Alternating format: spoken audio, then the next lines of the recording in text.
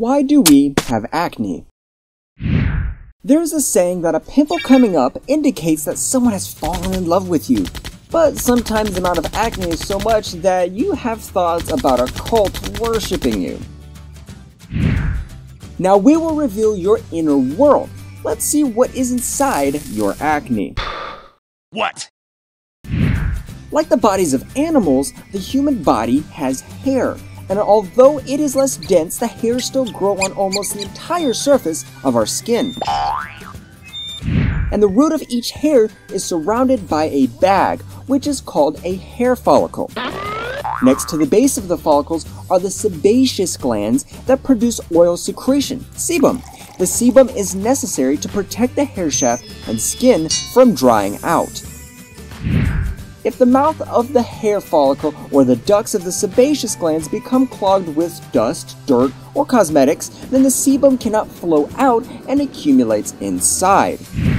If oil accumulates near the surface of the skin, a kind of cork forms in the pore, causing a comedo. At first it has a white color, but later oxidization causes it to turn black. Blockage of the sebaceous glands in the deeper layers of the skin leads to formation of internal comedones. In addition, a huge number of microorganisms live on your skin. Some people try to kill them using antibacterial soap.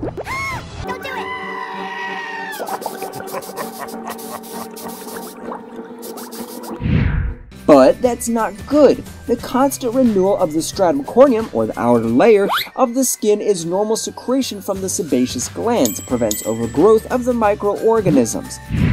But in a blocked pore, bacteria begin to actively proliferate, secrete enzymes, and destroy the structure of the surrounding tissue. And because of this, the follicle becomes inflamed, and pus is formed from bacteria, blood cells, and dead skin cells.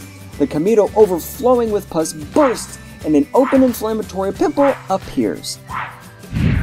You should never touch or push on acne to prevent further spread of infection. Disinfect the pimple and consult a Oh, no. dermatologist. But even in a lot of acne, you can find a positive thing. You won't get more acne, there's simply no room left.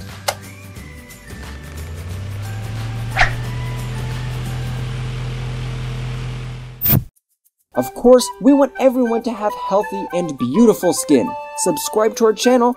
See you soon.